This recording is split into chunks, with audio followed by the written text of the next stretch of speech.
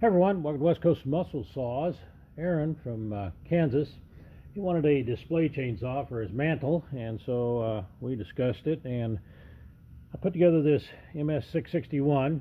It's got some West Coast features.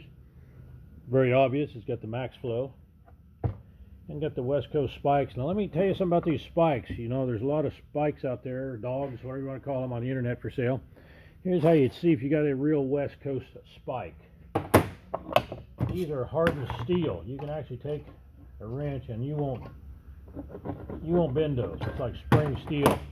The ones that I've seen on the internet for sale, you put them in a vise and put a little pressure on them and just they flop around. Pretty soon you've got a horrible looking dog or falling spike.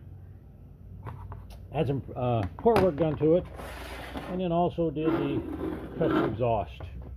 These are not designed for any type of wood cutting and I will start it up before I disable it. Let you listen to it